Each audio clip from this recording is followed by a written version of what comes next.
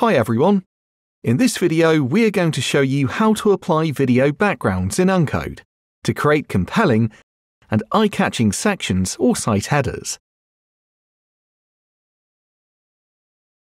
In Uncode, it's possible to apply a video from the media library, whether it's self-hosted or a video streaming, as the background of a row or a column. If you haven't seen the multimedia video and audio dedicated tutorial, I suggest you to check it since we illustrate how to import and use video from external sources like YouTube and Vimeo. To apply a video, you just need to open the row settings or column settings, and in the Style tab, add it as background, as it is a simple image. You can include YouTube or Vimeo, but in this tutorial, I use a self-hosted video. That's it. Our video has been applied as the background of our section. Everything is simple and intuitive. When you apply a video as the background of a row or a column, the video will automatically autoplay and will run muted. Now we can fine-tune the layout. For example, by inserting a useful overlay level in case we have, as in this case, a textual content. This can help contrast and therefore improve readability. Of course, thanks to the overlay options, you can also create creative combinations, for example using colors, gradients, or blend mode options.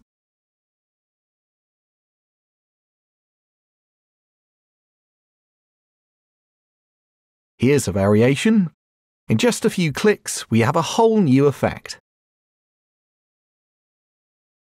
On mobile device with Uncode, you can either set an autoplay self-hosted mobile video background or set a media poster image fallback replacement for mobile video background. Please note that video backgrounds are not available on mobile devices by default, but it can be activated. Most of the users will not be happy if you start video streaming that consumes their monthly data traffic or device battery for a visual background effect. To enable the image fallback for video backgrounds, you just need to apply a media poster image to the video. We have already seen in the video dedicated to multimedia how to apply a poster image. The process is very simple. You just need to import your poster image.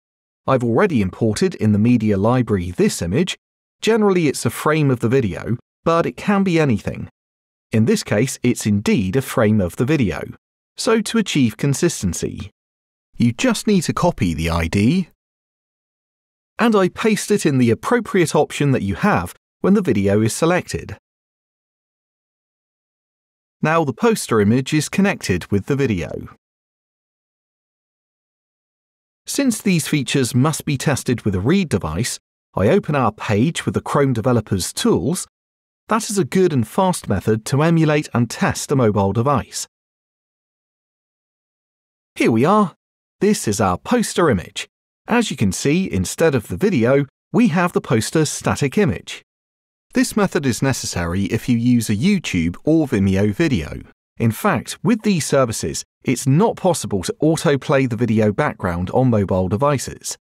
If alternatively you have a self-hosted video, it's possible to autoplay it in mobile as video background. To enable an autoplay self-hosted video background on mobile, you just need to activate the dedicated option Mobile Video Background. I navigate to our testing page, I refresh the page, and there you go. Our background video on a mobile is ready, and it works in all devices that support it. Of course, the poster image will become fallback of mobile devices that do not support video background.